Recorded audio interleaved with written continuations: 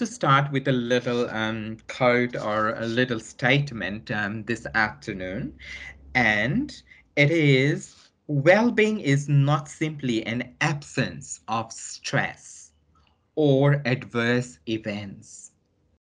Living well requires the capacity to grow and learn and to find ways to live a meaningful life regardless of your circumstances.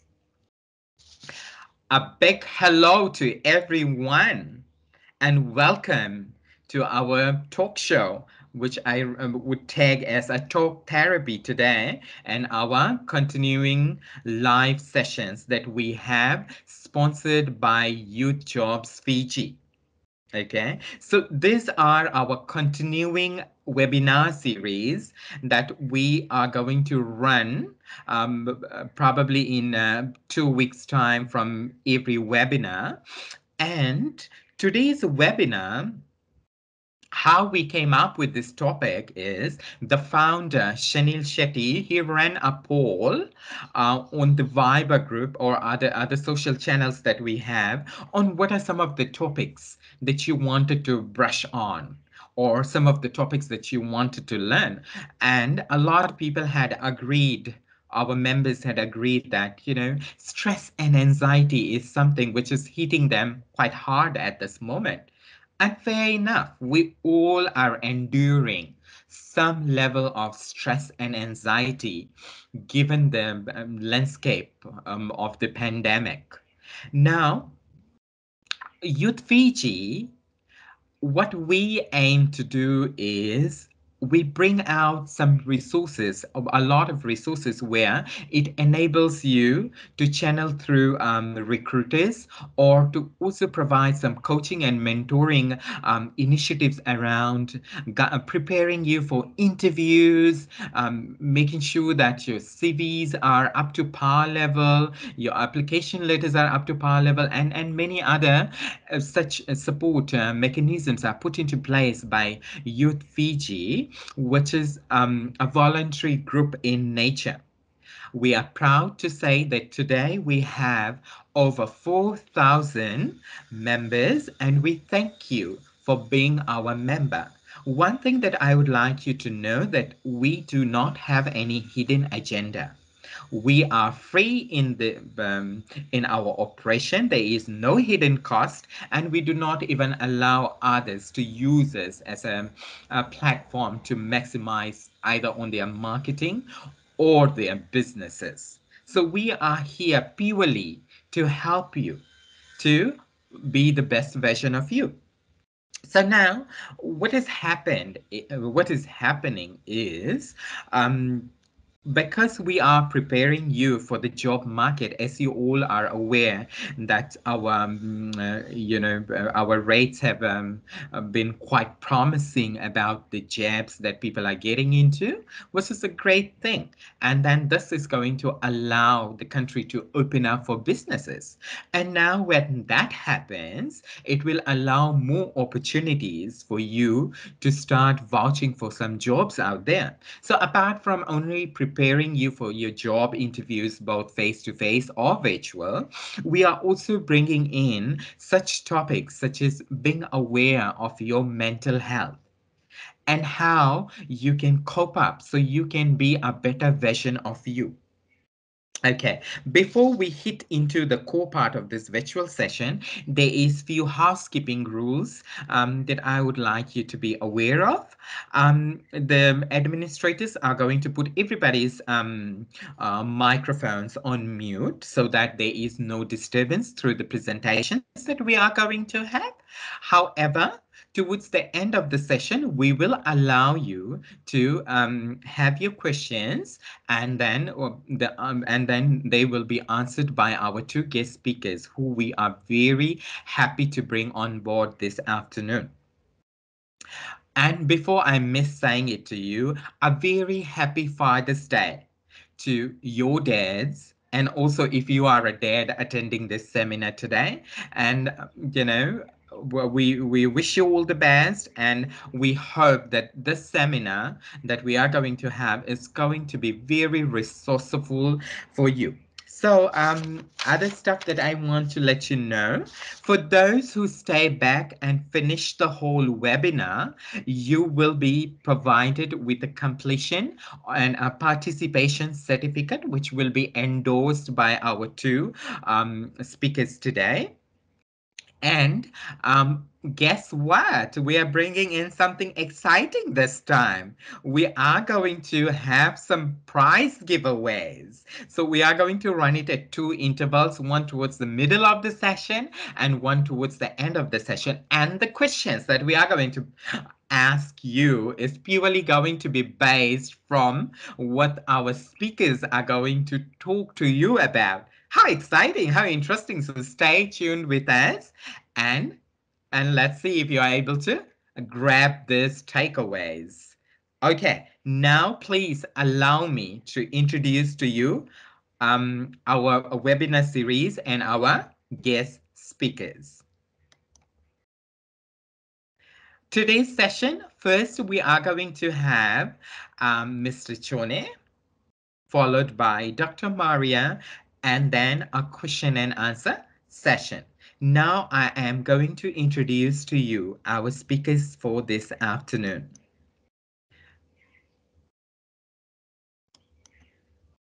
Our first speaker is Mr. Chone Vai Sama Sama. Chone comes with a broad knowledge and experience with a very strong therapeutic intervention background. He serves as a counselor with the University of Fiji and has been also a facilitator with counseling programs with University of the South Pacific TAFE programs. He has extensive qualifications and trainings in the field of psychology and has acquired a Bachelor of Arts degree majoring in politics and psychology, followed by a postgraduate diploma in psychology. He has been diligently a part of the Fiji Higher Education Commission's Committee Industry Standard Advisory for the establishment of national qualifications for the counseling frameworks in Fiji. Chone is a full member of the Fiji Psychological Society and he does a lot of guest speaking, motivational support, coaching, and mentoring, reaching out to various diverse communities around Fiji. He is very passionate about people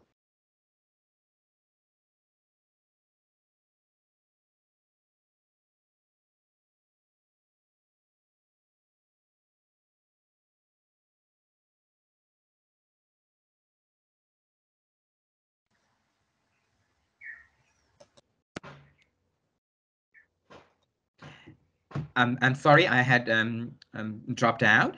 So Chone loves what he does, especially in the area of um, advocating on well-being and mental health and awareness. Chone hails from the beautiful jet town, Nadi. And we welcome Chone, but I will introduce the next speaker, then we will have Chone to start proper with the session. Thank you. Now, please allow me to introduce Dr. Maria Caballo. Beautiful name. Dr. Maria is currently a senior lecturer at the University of Fiji, um, UPSM. She is a very highly qualified psychiatrist in Fiji. She is a licensed medical technologist and medical doctor with a four-year training through a psychiatry specialist program. She is a graduate of a consultant liaison um, psychiatry fellowship with masters in public health management. Before she came to Fiji, Dr. Maria has been a medical specialist for one of the largest psychiatry hospitals in Asia with more than 3,000 bed capacity. Dr. Maria has been very instrumental in sharing her experience and knowledge in Fiji and working around frames of mental health and well-being. Ladies and gentlemen, and our virtual listeners, once again, welcome. And I will hand over the floor to Chone, who is our first speaker. Chone, the world is yours. Vinaka Levu. Thank you, thank you, Altab. Uh, thank you for the very spirited introduction. Uh, I'll just try and share my screen now, if possible. Mm. Right. Uh, is it? Uh, can you see this? Is it? Uh, do you see all this? Yes. Right. Right. So uh, just before I begin, uh, we are just uh, a point of information. Uh, we are also trying to circulate uh, a survey through this platform as well. It's a basic uh, 21 question survey. It's just to be just to get us some data on the level of stress that you are experiencing during this COVID-19 pandemic. And uh, if you do consent, please, it would be really vital for future researchers uh, in uh, mental health, especially with not just the university, but uh, for the country as a whole. So if you do consent, please do take out the time to fill uh, this uh, questionnaire and also to also leave your information as well, so we could work on something together. Now, uh, to begin with today, uh, I just like to say Dr. Maria, our, our senior lecturer, and I, uh, we are really honored today to be part of uh, this experience and to be given the opportunity to be able to share on uh, something that uh, we believe has been really affecting a lot of youths today, especially during this COVID-19 pandemic. So once again, thank you for allowing us to be here. Now, to go further into the presentation, uh, my presentation, we will have a combination like how uh, Altap had mentioned earlier. I will just uh, brush up on a few things. Uh, and these few things include the impact of COVID-19 and on well-being, uh, understanding coping, and then Dr. Maria will go into uh, parts of the teen brain, explaining certain things about uh, trying to understand how to cope during this time. And lastly, we'll be sort of delving into your job as youth, eh? how important your the impact of being a youth in is uh, being a youth in the fight for mental health, eh? in this uh, constant fight that we are having right now. Eh? Now, just a basic overview. If you look right now, you know, COVID-19 has really impacted a lot of lives eh? in terms of uh, how people are able to provide for their families, how you know people are not really being able to have jobs anymore. There's a lot of causes of stress that COVID-19, this pandemic, has brought about, eh? and just the pandemic itself. You know, this that is just only one aspect of how it affects your mental health. There's so many other aspects. There's the fear of contracting. You know, there's uh, so in a way, COVID-19 has sort of become like a pressure cooker. Eh? There's there's uh, there's uh, it's it's sort of like made uh, communities a hotbed for for mental health issues because there's so many things that are straining finances are straining uh, family life is straining your relationships between your partners and your children you know all these things they all do take a toll on your mental health eh? and in that uh, same aspect one key part of communities that has been affected is the youths eh? there's a lot of youths out there that feel that there is uh, there's no answers anymore. You know, there's uh, there's a lack of direction. They're not even sure where to go to from this point. Eh? There's they feel like all the pathways that were there and were made available before it has been cut from them because you know there's a lot of uh, uh, the opportunities that would have been available to them before has been cut because of this COVID-19 pandemic. If you if you see across uh, the teenage spectrum, there's a lot of students that Uh, and I remember um, Shanil had told me before before the session that there was some students that that felt that uh, they, they, felt this sort of anxiety and this fear going into this uh, this uh, external exam period. Eh? Now, all of these things, these are all just some of the strains of what this COVID pandemic has done to us as youths and to the whole community at a wider range. Eh? Now, in saying that, it's important to understand that while these things are happening, there has there needs to be also a focus on coping skills, eh? coping strategies. Like uh, it's uh, sometimes when you think of the word coping, you just you you immediately assume that it's something just to get you through that difficult period. Eh? But it's important to also understand that in terms of mental health, there is some coping that is good and there is some coping that is not good for you, right? So uh, it's uh, in uh, mental health terms, it's called adaptive and maladaptive. So it's important to try and distinguish between the two as well. Whether something that you're doing to get you through that tough time, if it's if it's uh, helping you become productive, if it's helping you moving forward, or is it restricting your progress and is it uh, diminishing your abilities as a person? Eh? Now, in terms of understanding that as a whole, you also need to understand that practicing positive coping strategies is very important in terms of trying to get through this whole thing. Eh? If you've noticed, uh, the communities as a whole, this there's so much uh, there's so much pent up anger, eh? there's so much pent up stress, and and there's uh, so much fear and anxiety, and and uh, we can we can overcome that by just practicing positive coping skills and being supportive to each other. Eh? And now we will further elaborate on that uh, as we go on. Eh? Now, just to understand the impact of this COVID-19 and on your lives as youths, you can see it uh, just being broken down by this basic scale here.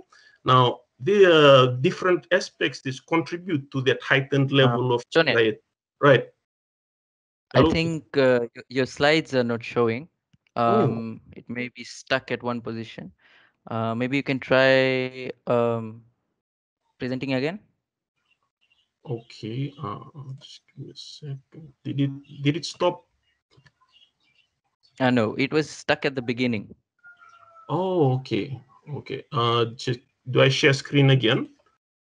Uh, hold up. Let me just uh, try from my end, and you can most probably just uh, take control. Let's see. Okay.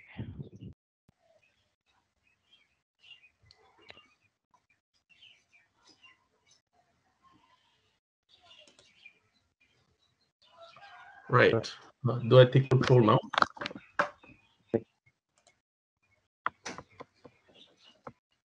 Right, I apologize for that. So sorry. Uh, this just being new to this. Huh? Mm, can you see now? Yes, we can see now. Okay, okay. So I have to click on it. All right. So apologies to the the the participants right now. I really apologize for that. Uh, right now, like as I was saying, if you can see the impact on your psychological health, you would see that there's all these different points and underlying issues which contribute to the higher level of anxiety, the higher level of depression, and this higher level of just negative feelings that that is associated with this COVID-19 pandemic. Eh? One, you can see that sometime during this uh, time that we are all in isolation, really we as as humans, we're not really supposed to stay, you know, by ourselves, confined to the four walls of a room and not being able to communicate. And you know that that in itself, it's uh, it's something that's a very new experience, and it can contribute to you know uh, uh, having some sort of uh, issues with your mental health. Eh? There's the the fear of contracting the outbreak. You know, there was if you look across society and if you look across your community as well you know, there's uh, there's a there's a heightened sense of fear just to be able to move outside your house. You know, just to be able to do the things that we used to do before. Now it's at such a high level of risk, and that in itself is such uh, it takes a strain on your mental health as well. And then that coupled with the, things that you see on TV, media news, you know, you're constantly being exposed to this information.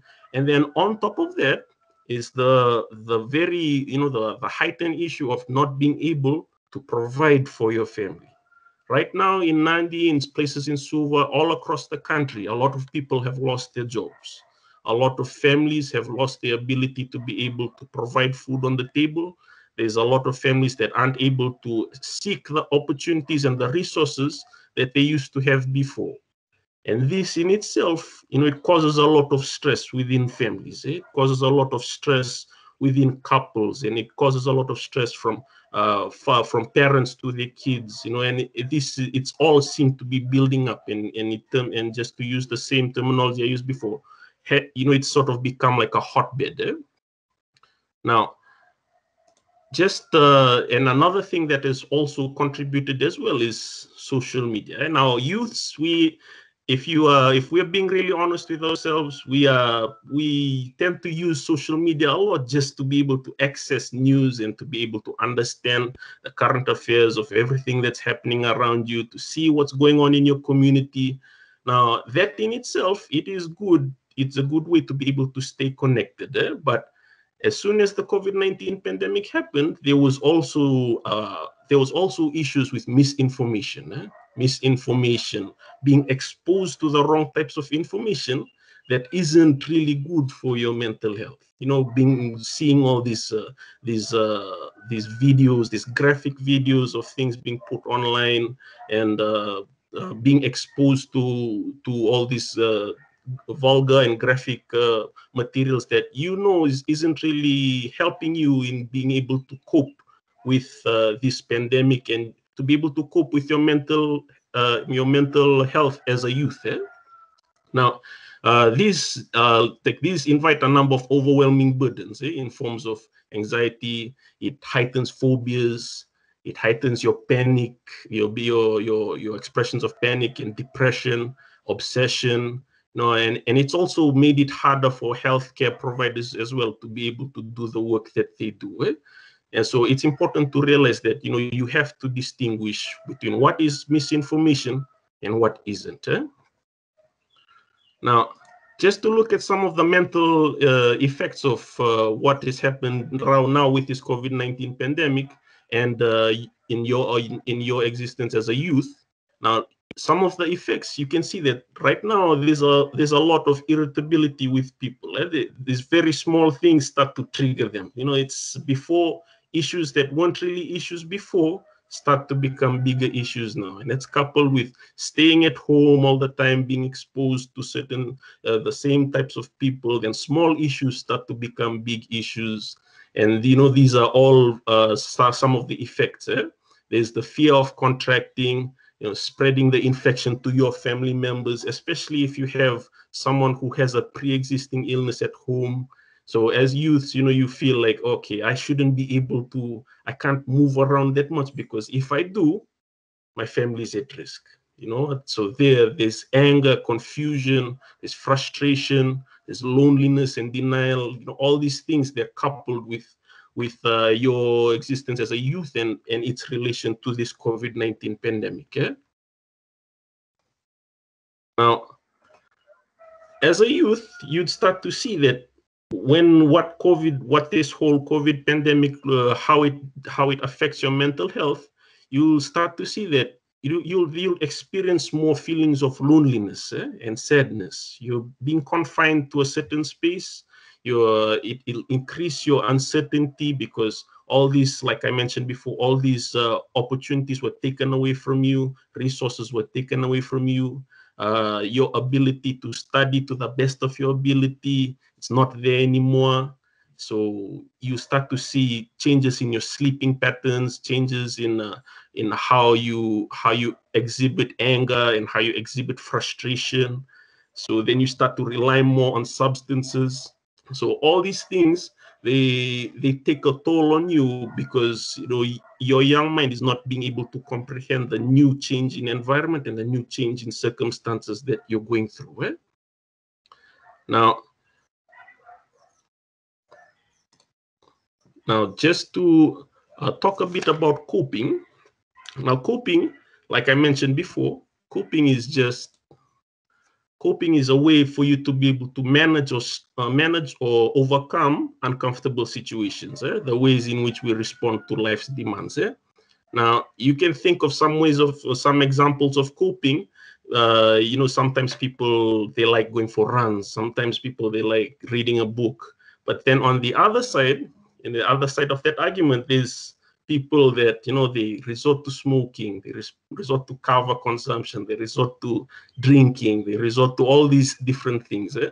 And then that's where you separate the difference between what's good coping and what's bad coping, right? Adaptive coping is something that if you practice, it helps you overcome the situation that you're in in a positive way. Yeah? It helps you grow, helps you learn some new skill, it helps you feel better in the end as compared to a maladaptive coping or bad coping where you can binge drink or you can try a, a substance abuse and you can do all these things and then it doesn't really solve the issue in the end it doesn't help you overcome these things emotionally eh? now some of the consequences of not coping effectively you you don't really solve the issue eh? there's the underlying issues that are causing your problems you're not addressing it. You're not addressing it in a healthy way. You are just seeing that it is there and then reverting back to that unhealthy coping strategy. Yeah? And then in the end, you're just leaving that stress to prolong itself.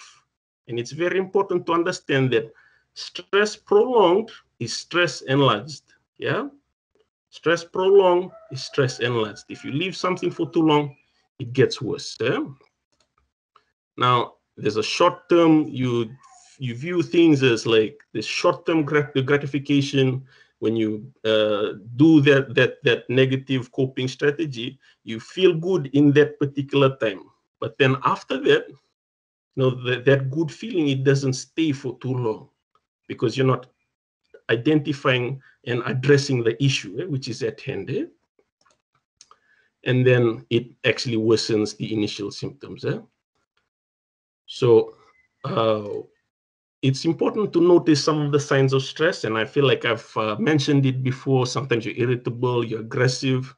But it's also important to understand that when the issues and how you react now, how you react to you know all these things now, how you how you take and how you how you exhibit anger, how you exhibit exhaustion, how you exhibit uh, frustration you know these are not just uh, just uh, the result of just one particular thing eh? this is a result of all the things around you yeah there's all the things around you the relationships you have the environment that you're in the the connections that you make every day. And it's explained by just this uh, this biopsychosocial framework okay the biopsychosocial framework is just a fancy way of saying that you are a person you know you have your biological structure there's things about you your personality traits and then there's the outside the people that are around you. They affect your mood too you know? They affect your mood too and then your own ability to understand these emotions that affects your mood as well right? So it's important to be able to be self-aware to be self-aware of all the things that is around you to identify that okay I'm, uh, I'm, I'm, I'm putting myself in these environments and it's not helping me. So I need to address that. I need to uh, either push myself away or or try to address what's happening yeah? and, and trying to be more self-aware of all the things that that you feel is uh, going to affect your mental health. Yeah? Now, um, I will pass it on now to uh, an expert in uh, the brain and an expert in the teen brain who will go on to, ex to explain more about uh, uh, teen uh, youth connection to mental health. Now, Dr. Maria, if she's online, she will take she will take the next part of this presentation. thank you, Dr. Maria.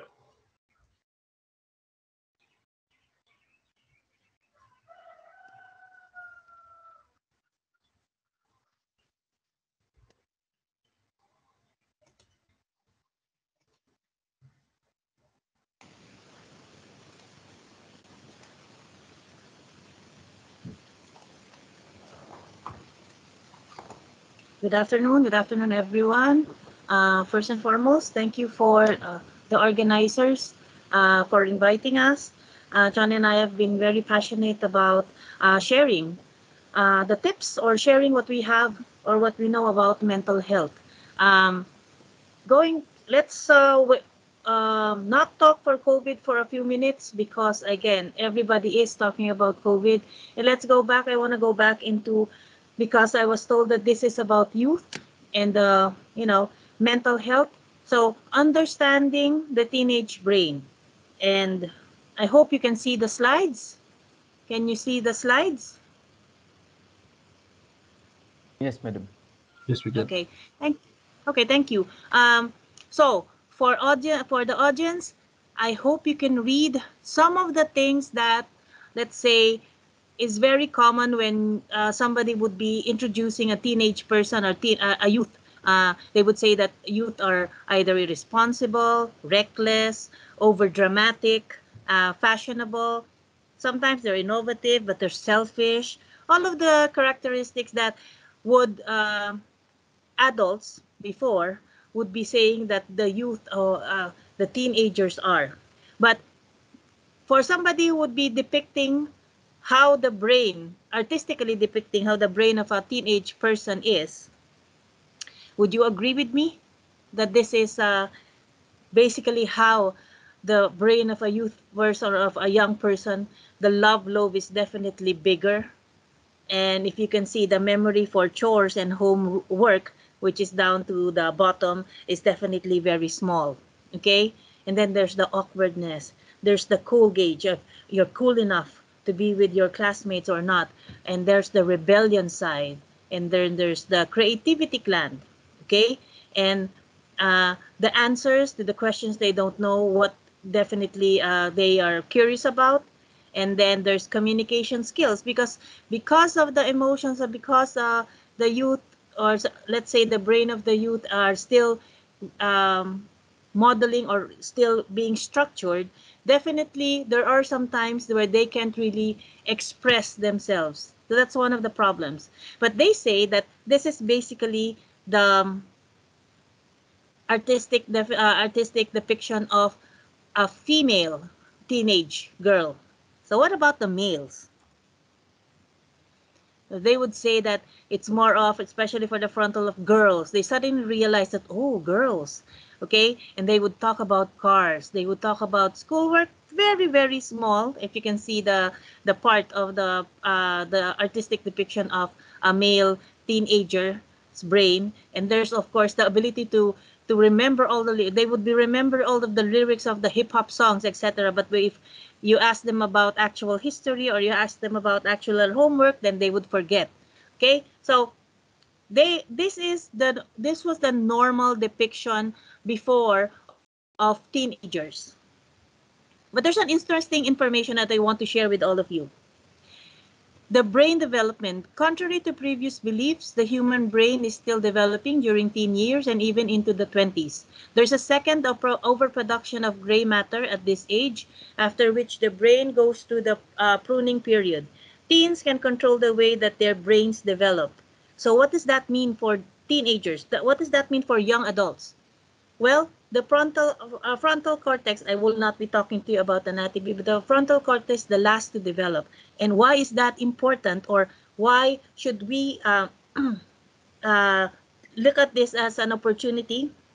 Well, because the frontal cortex is basically for higher order cognition that's where the problem solving abilities are, the analytical thinking, the intelligence. That's where judgments are. That's why sometimes the old people or the old generation would say, oh, teenagers, they don't know what they're doing. They don't know the consequences. That's because that particular part of your brain is still developing. So judgment, therefore, is not always on point.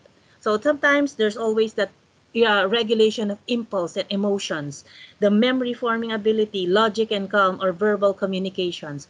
All of that is still forming. So what I want to say is the teenage brain has specific changes that happens to them, you know, because of the connections, the emotions, the hormones, the reward system that we have, and of course the risk taking.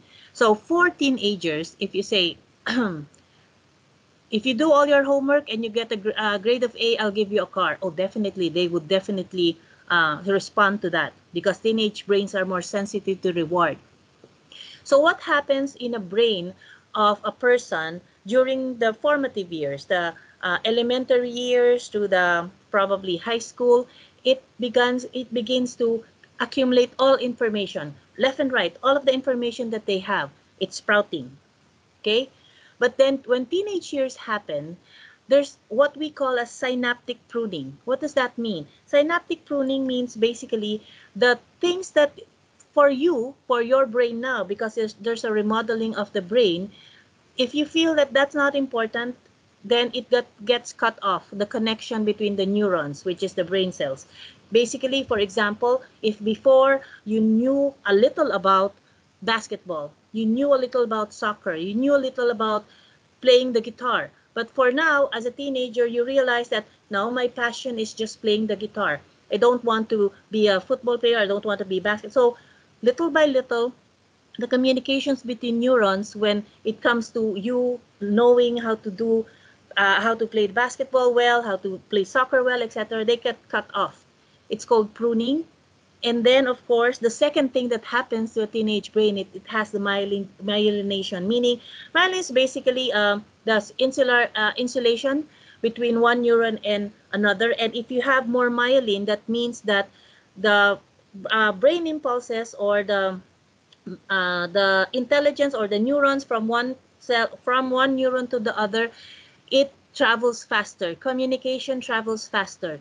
So you would have that kind of solid base wherein uh, the things that you actually want to know, that you're passionate about, like for example, again, playing the guitar, if you learn it, if you do it over and over again, then that particular connection uh, from your neurons, it gets solidified or it gets uh, stronger. Okay, so that's what we call as neuroplasticity. Neuroplasticity basically means the brain's ability to modify, to change and adapt both structure and function to the life and in the response of the experiences. So basically, what pruning does to a teenager's brain, if if the teenager feels that that's not important, that's not uh, a thing that I would want to pursue in my life uh, in the future, it gets cut off. And this is where I want you to understand that you can help yourselves because definitely if you would be doing uh, or if you would be practicing something that you would like passionately then that would be a, a better way of for example remodeling your brain as compared to for example if you have bad habits and you continue with those bad habits. So those are the things or those are what the brain would be going uh, um, learning throughout your teenagers and to your adult life. But if you change it and for example you learn a new language for example then that definitely will be a stronger connection and you'd be able to use that in the future. So it's up to you. That's what i want you to understand. It's up to you to be able to maximize your brain and to be able to maximize your potential as a human being remodeling specializing itself to find your passion is what teenagers brains are doing to find your purpose in life Okay, so there are two types of brain plasticity. Basically, uh, the one is structural plasticity, as plasticity. Basically, experiences or me, uh, memories change as brain's physical structure. So, for example, you experience this. Uh, oh, I like to be able to cook a very good dinner for my family, and I'm happy doing it. So you learn, for example, new recipes, etc. And that is again remodeling the brain. And then, of course, that's brain functions move from one damaged area to another. That is where the brain itself would recognize, oh, this particular human would like this as their important thing, uh, or to uh, would have this list of important things that they would want to know and they would want to be experts at. So, the old, the age-old saying of practice makes perfect does apply when it comes to being able to train your brain to what you're passionate about.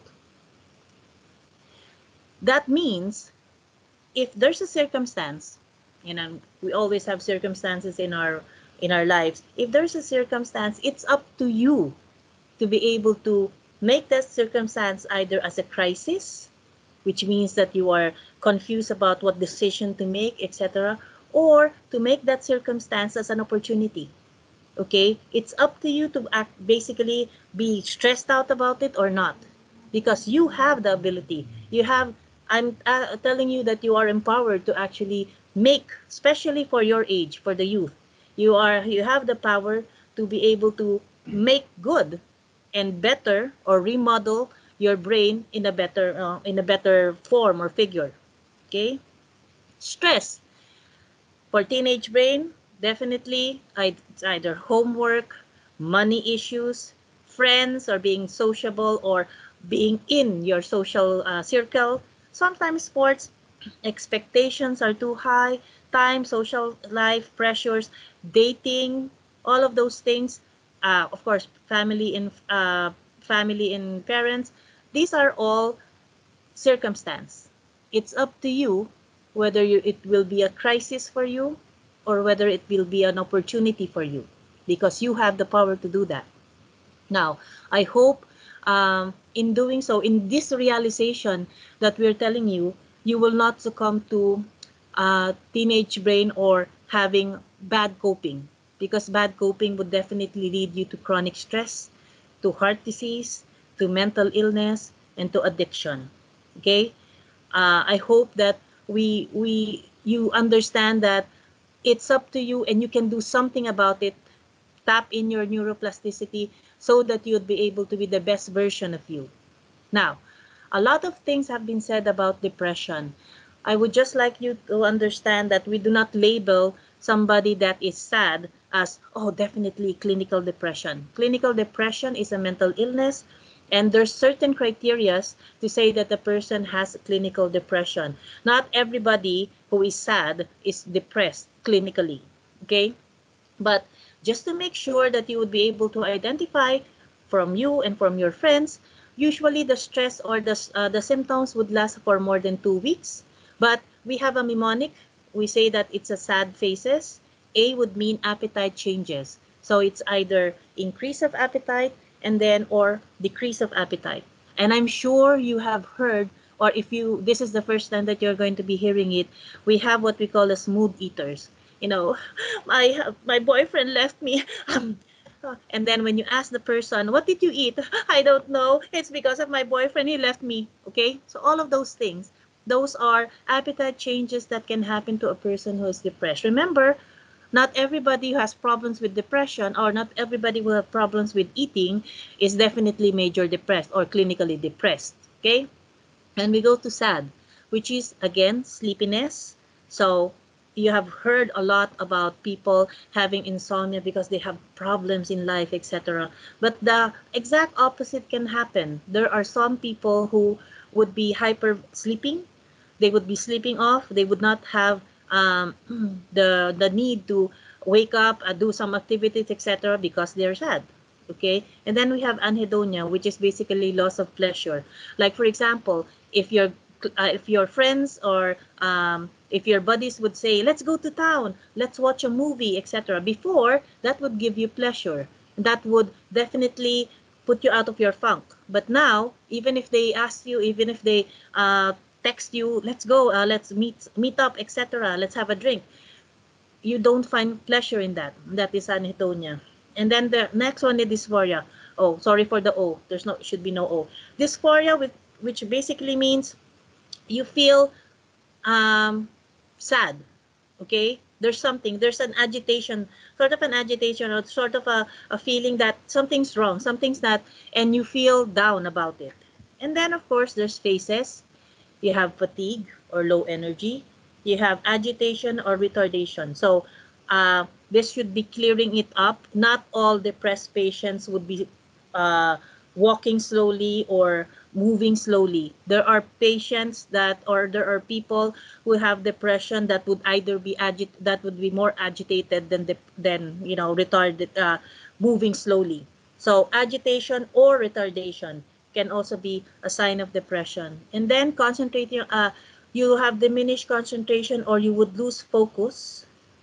And then sometimes some depressed people would be guilty. Sometimes they don't even know why they're guilty. But there's this low self-esteem that says, uh, I might have done something wrong, or uh, it's because of this, or it's because of that. Again, linking it to the circumstance that happens in your life. And then, of course, there's suicidal thoughts or thoughts of death. And it doesn't necessarily mean, I hope, it doesn't necessarily mean the actual um, committing, for example, harm to your body, but sometimes it's just always thinking about death, always thinking about what if, what if I'm not here? What would my friends do? What will, with my, what will my parents do, etc. So again, these are symptoms of depression. And again, these are just to help you out to be able to identify. But it doesn't mean that you are clinically depressed. There is a criteria that we follow, and not all depressed or not all sad people are clinically depressed. So now that we have, we've you've seen the face of uh, a sad person. My question is, is this person sad? Or is this emoji sad? Based on what we know, okay, so far, is this emoji sad? Or is this emoji sad? Or maybe this one? Okay, we are often seeing, we often, we see people that are sad or that are looks lonely or looks down and then we definitely would interpret them as oh they're sad they're depressed but what if you see somebody who's smiling of course you don't you won't be thinking ah that person is sad because that person is smiling but lately i don't know if it's because of the pandemic or because there's too many problems in this world in this society we have seen the phenomenon of smiling depression. And I would like to convey to you that this is definitely something that should be watched out for. And you or some of your uh, friends that might have the symptoms, uh, you could help because there is always hope. So, who could get smiling depression? Well, basically the people who would have big changes in their lives that happened and because of this covid there are big changes that happen to a lot of people a lot of families uh, not just financially but also the restriction of needing to be inside and not being able to not have the liberty of going out that definitely uh, puts a toll on your psychological freedom cultural judgment and stigma expectations trauma, and then there's social media. Oh, that problem of social media. Do you know that we have now uh, what we call a selfie dysmorphia? Okay, so what does dysmorphia mean? Basically, dysmorphia is a mental disorder that can't stop that people can stop thinking about one or more perceived defects on the face or in your appearance. And they get so worked up they get so anxious about their appearance. And we say so when we say social media there's selfie dysmorphia meaning all of the filters that happen. You know you can't get a picture without actually doing something to the to your face or to your uh, picture. You either put the lights on lights off have twinkles get your eyes such as uh, bigger such as uh, that of the anime so all of those selfie dysmorphia means basically that you feel that the picture that is being shown in social media is better than your actual face. So you will get depressed, you will get anxious, you will go find a plastic surgeon.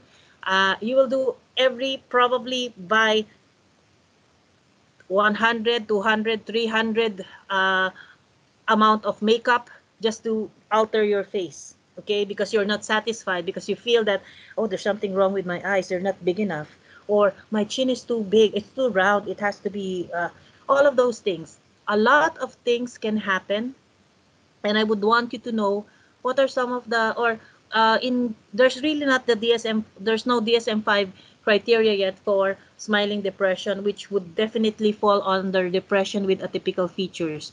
So smiling depression is a term for a person living with depression on the inside while appearing perfectly happy and contented on the outside, meaning you wouldn't really know. This public life is usually one that is put together, or maybe what we would call as, oh, your life is perfect. Okay? So sometimes that, oh, your life is perfect, is not really that perfect. Okay, some would be active, some would be highly functional, meaning they go to work, they do their jobs, they would talk to people, holding down steady jobs with a healthy family and social life. Okay, and they would appear cheerful, optimistic, and generally happy. And but that's a facade. Why? Because once there's no person, was no uh, there's no family, there's no friends around, the sadness is there. And they would perceive sadness as weakness. So they would express their feelings and feel that if I would tell somebody about it, if I will tell my friends, I will be a burden to them. So I just won't tell them. Okay? These people, when they're alone, that's when you see that their energy is actually low.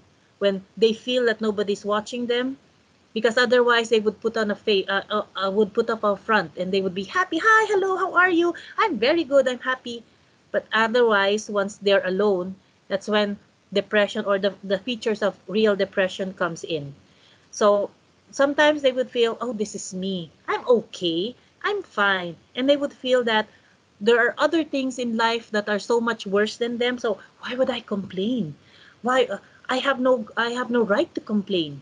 Okay? So most of them would feel that the world would be better off without me or the world will be better off if for example I'm ticked out of the uh, equation it, that's a very important thing to understand and that is uh, quite alarming for us because smiling depression have um, let's say a higher percentage of doing the uh, having the suicidal thoughts because nobody actually knows that they are depressed.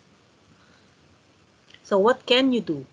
Again because of this even if it's not face to face you still have to get in touch with family and friends. Give yourself time to adjust. You know, everybody, everybody's world moved 360 degrees because of this pandemic, and it's a chronic thing.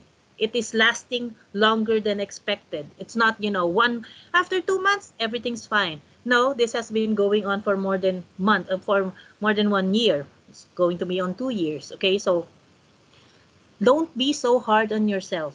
Everyone, don't be so hard on yourself we need to adjust and we need to have time to bring in the changes, to understand the changes that's happening in our lives.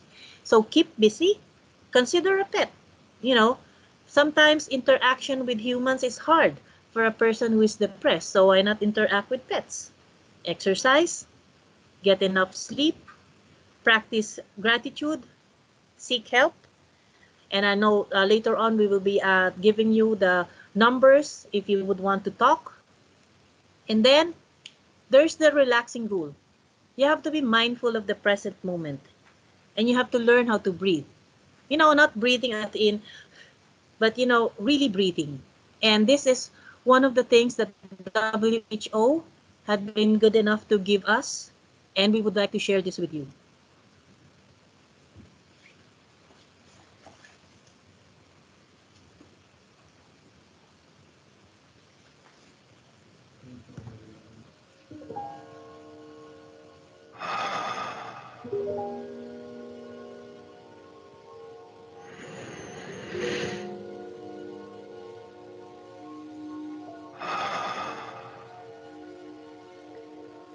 Hope you can see and hear this.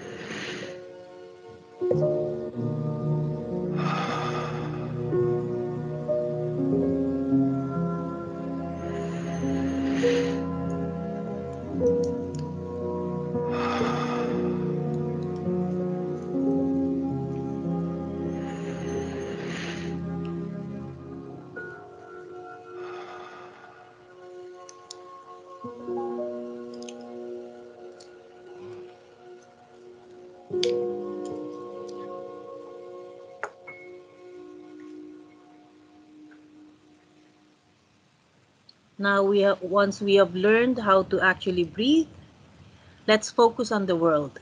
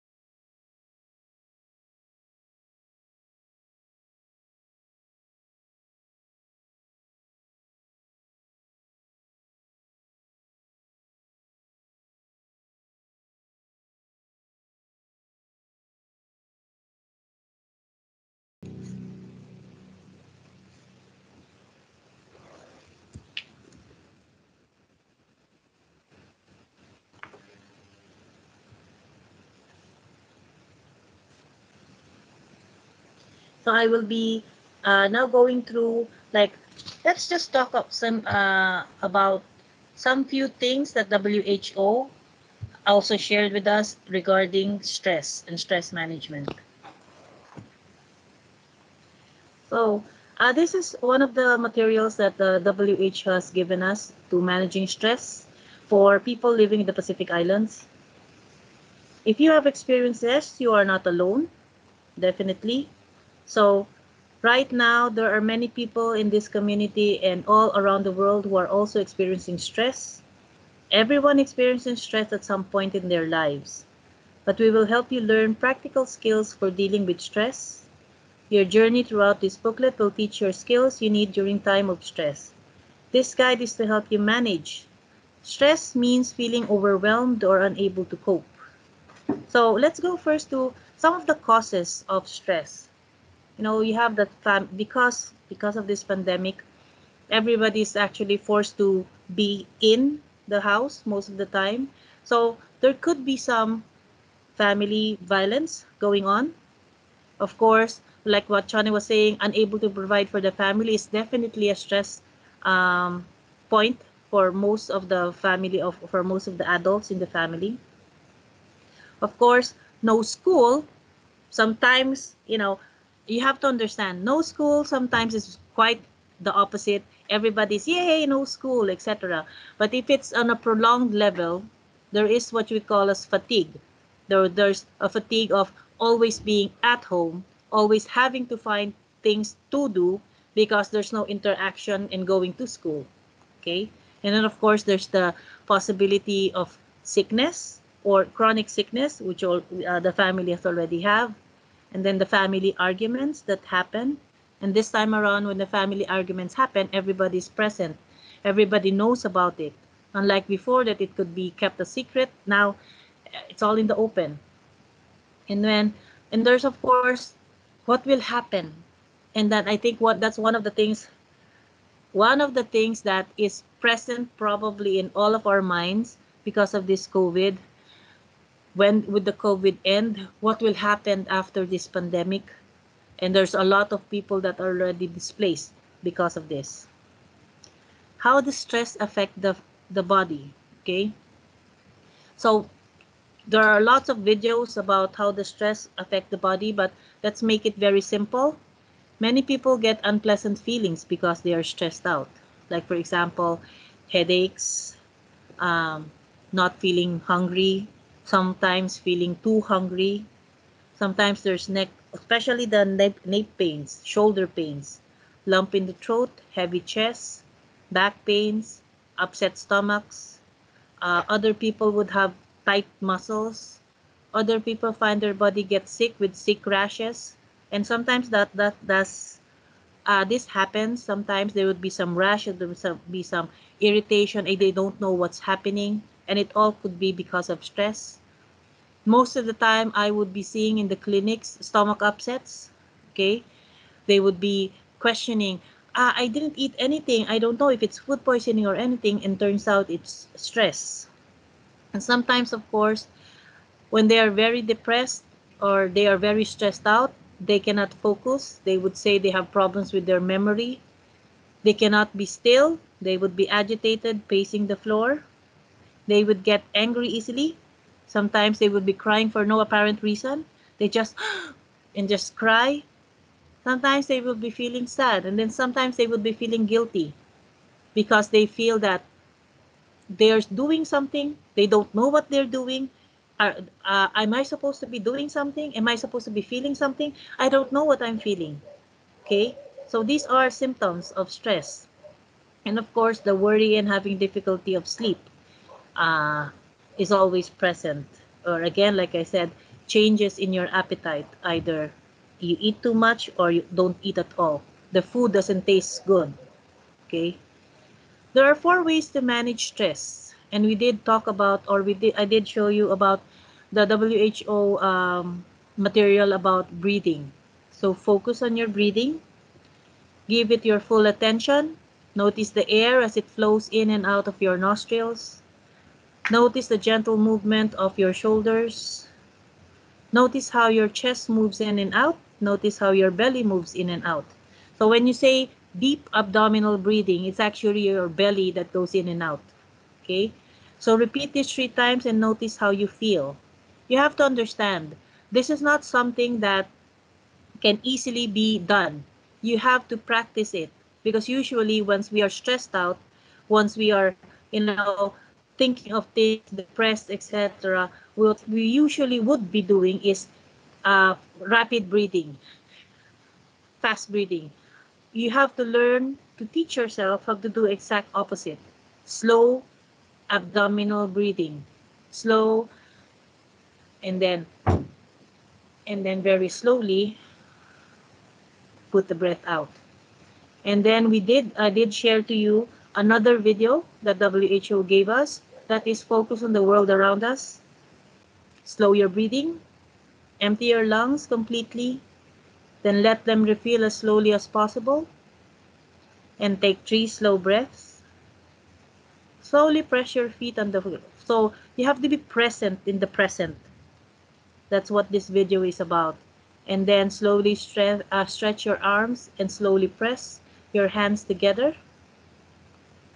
And then focus on the world Notice where you are and what you are doing. So usually it's give five things that you can see. Give four things that you can hear.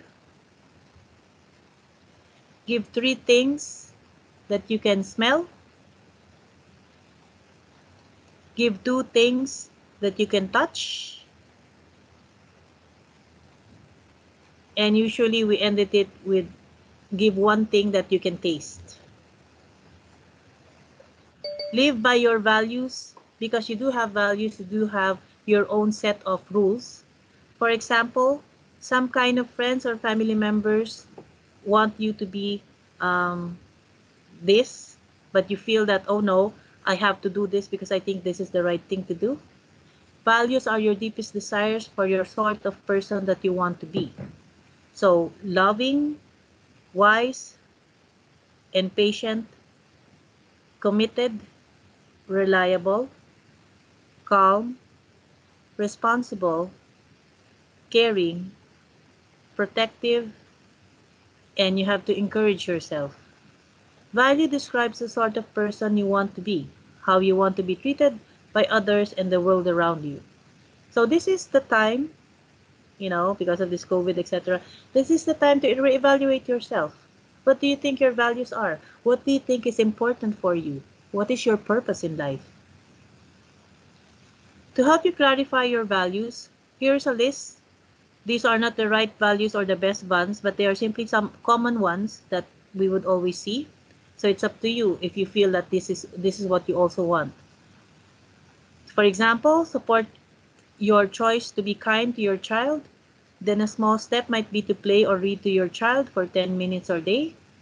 Be kind, be caring, be generous, be supportive, be helpful, be brave, be persistent, be forgiving, be grateful, be patient, be responsible, be protective, be disciplined, be hardworking, be committed, be loyal, be honorable, be respectful, be fair and just, and so on. Or support your choice to be grateful and respectful. Then a small step might be to greet someone you care about warmly and experience gratitude.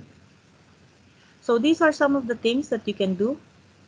Select three or four of those values that seem more important to you and write them in here and then choose a value and think of one thing you can do to live towards that value, for example, today. And then you can choose another value tomorrow.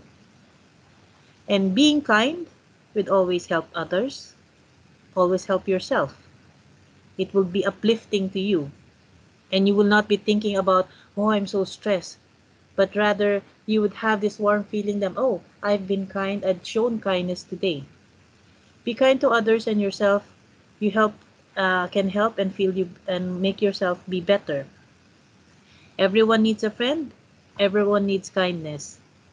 We can be kind to ourselves too, you know, and say, oh, I shouldn't be uh, uh, eating this because it's too fattening, etc. Wherein you haven't been eating very good for the whole three days, etc. Then if you really want to eat that, you can eat that for today. Reward yourself because you are not that stressed today. And if you are kind to yourself, you would have more energy and motivation to be kind to others so everybody benefits from that. So think of one thing you can do today to be kind to yourself or others.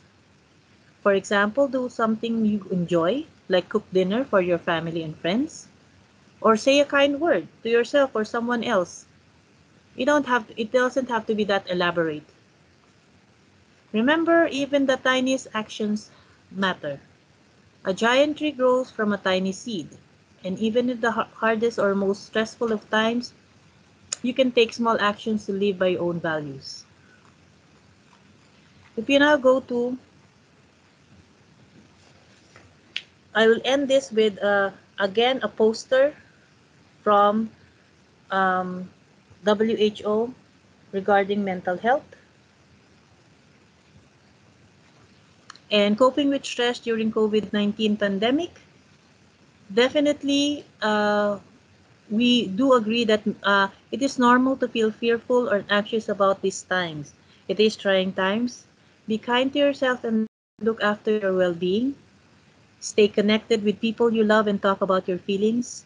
If physical distancing regulates, then sometimes using phone, internet, or staying in contact, and sometimes, for example, you can be kind and show your kindness by teaching old people or teaching senior citizens about you know the beauty of the internet facebook uh, messenger skype all of those things. Okay they don't they don't really have to learn instagram or anything just the normal conversations that they would be able to talk to family members from abroad. Okay look after your body and get enough rest eat healthy foods be physically active, and minimize use of alcohol or other substances. A lot of things happen when you're stressed out. And sometimes you're focusing on, I have to do this, I have to work for this, etc. But you have to first focus on yourself because nobody could really be helpful, helping yourself but yourself. And for you to be able to, like for example, you want to help others, etc., how about focusing first on yourself? Help yourself so that you'll be able to help others. Do an activity you enjoy or find meaningful every day, such as, for example, cooking. Some people find praying or dancing or singing. Okay. Stay up to date with accurate information about COVID-19 pandemic in your community and take breaks from COVID-19 related media if you feel overwhelmed. This is quite important because we are bombarded by all bad news, not just about COVID, but all bad news everywhere. If you go for all CNN and any other uh, news channels, it's all gunshot wounds, it's all hurricanes, it's all cyclone, it's all pandemic, the Delta variant, the Lambda variant, everything. If you feel that that's so overwhelming already, then stop. Take a break from that. Okay? Nobody's going to fault you that you don't know the latest statistics Remember, you have to focus on yourself. And being focused on yourself would mean that you'd be able to help others. Don't use smoking, alcohol, or other drugs to manage your emotions. They might seem to help in the short term, but you can make things worse. It can there's a lot of I mean, addiction is definitely one other topic, but you don't use that as a temporary fix, especially if you're stressed out, especially if you're depressed. Go to the root problem of depression, go to the root problem of stress, and if you feel that you cannot handle it by yourself, reach out because there's always help. Children may respond to stress in different ways. Listen to your child's concern and give them extra love and attention. Keep the regular routines and schedules, including time for learning, playing, and relaxation.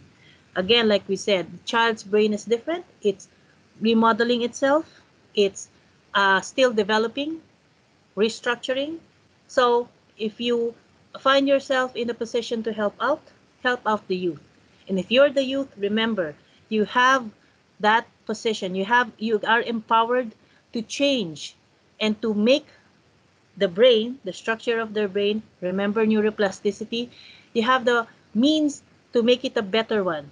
And if you have, if you can find a purpose in your life, then definitely you would be a better version of you. You would have compassion and you would be able to go back to uh, helping not just yourself, but others. So, Chane, going back to you. Thank you. Thank you, Dr. Maria. Um, now I'd just like to share the last part of the presentation.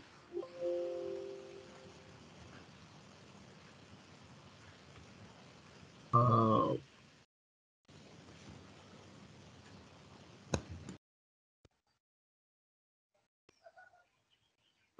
sorry. Right. Okay. Uh, I'll, uh, sorry, Altab, if you could just share my presentation again. I think I've probably messed this up.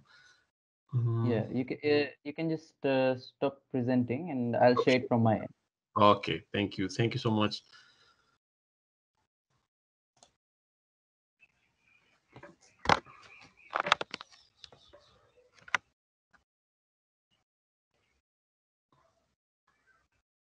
Right, while we're just waiting for the presentations, thank you so much for filling in the survey. We've had uh, a lot of uh, entries and we're really thankful for everybody that has uh, taken the time out to complete the survey. Uh, do I just take control? Huh? Shana, just uh, before you begin, um, yes. something I would uh, try to pick on, which which actually Altab has said in the beginning, is that we will be doing uh, a set of draws, right? Right. Um, so how that would work is um, it's basically there, there's no correct answer to these questions, but it's simply just for participation. And then in the end, what we'll do is we'll take all of your results um, and then we will do a random pick and three lucky uh, attendees will actually get uh, recharge cards. So I, have actually picked this up from uh, uh, Dr. Maria's uh, presentation. So she said that there are three questions uh, that actually um, uh, help you notice what you're doing, right? So what is uh, there's one that is what are four or five things you can see, what are two or three things you can hear, and what are two or three things you can smell. So if you can put like uh, for all the attendees, if you can put in the chat uh, at least two to three things that you can see, uh, two to three things that you can hear, and two to three things that you can smell, along with your email address. And uh, I think uh, after the webinar, we will be announcing the winners on Instagram. Thank you. Set. Right. Uh, thank you. Thank you. Uh, I hope uh, so. Dr. Maria really touched a lot about uh, uh, the aspects of the human brain uh, as a teenager, you know, understanding what purpose is and understanding coping strategies that could help you through the difficult times that you face as a youth. Now, just to end, I would just like to talk a bit about your role as youths eh, in in this whole this whole development that we are having on trying to trying to change the face of mental health and trying to establish healthier uh, ways of uh, of uh, dealing with mental health as a community. Yeah? Now you might ask yourself, um, how can you help eh, as a as a youth? Now, to be honest, right now everybody in this chat, eh, everybody that is tuned in right now, everybody that is logged in through the chats, everybody that's following this seminar, this is the very start of contributing towards changing the understanding of mental health. Eh? Right now, just having open discussions, being educated about it, being able to understand the certain parts of uh, mental health that uh, we, we, we wouldn't have really understood before, this is all parts of changing the conversations. Eh? Now, if I if we're being really honest, you know, how many people here in the chat growing up, eh, growing up as children, growing up in your individual homes, you know, how many people here actually had conversations about mental health with your family? Eh? Did you have these sorts of conversations? Was was it really even something that we talked about? Eh?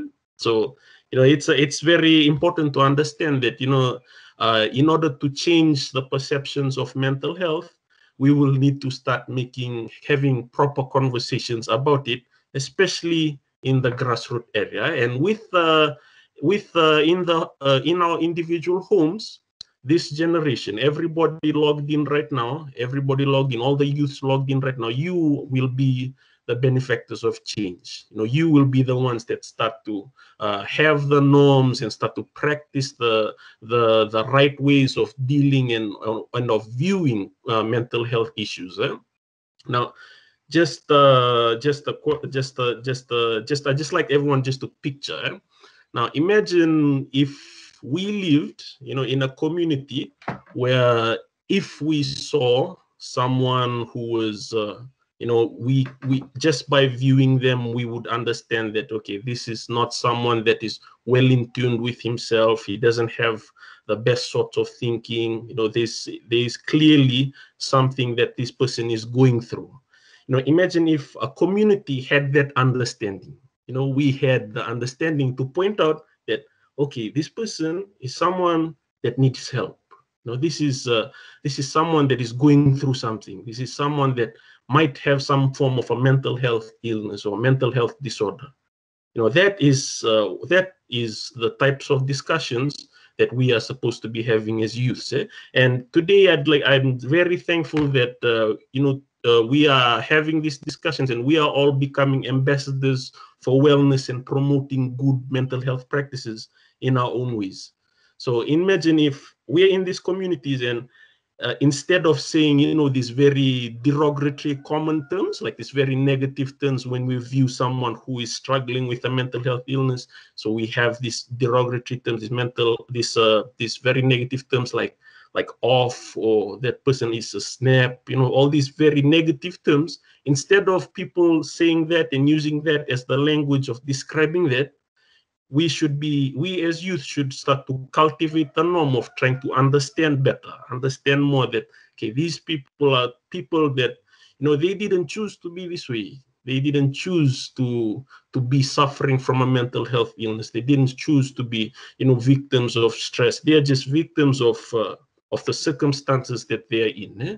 So I thank uh, Shanil and everyone for for for establishing this group chat and for being uh, being facilitators of education and of change as well. Eh? To be able, that's what we should be doing as as youths right now to educate each other, having talks like this, having more talks like this, so that we have uh, we change the discussion as a whole. Eh? So uh, just a challenge now, we should, as youth, we should be the generation that makes it a norm to reach out. Reach out, put your hand out there, help, and always be looking for all of these people, or always be looking for each other's silent struggles. You know, the smiling depression, all these things. If we have, uh, if we cultivate this as youth and we start to practice it every day, and we start to make it a norm, this will only make it better for our future generations and it all begins here. Eh?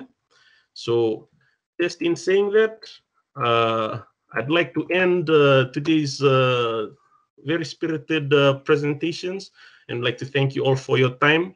Uh, we do have some helpful resources here. Hopefully, we'll uh, we'll send the this these powerpoints to Shanil and he can distribute it if possible. And we also will be giving away our our contacts as well. Eh? But just for crisis reasons, there is, uh, if you are going through someone, if you're logged in right now, and if you're going through something, there is the National Suicide Prevention uh, Helpline. You can call 1543. There's the Domestic Violence Helpline, 1560, Empower Pacific. Or you could contact us directly. We will be putting our emails in uh, our emails and our contacts down as well if you are interested in uh, in hearing more about mental health.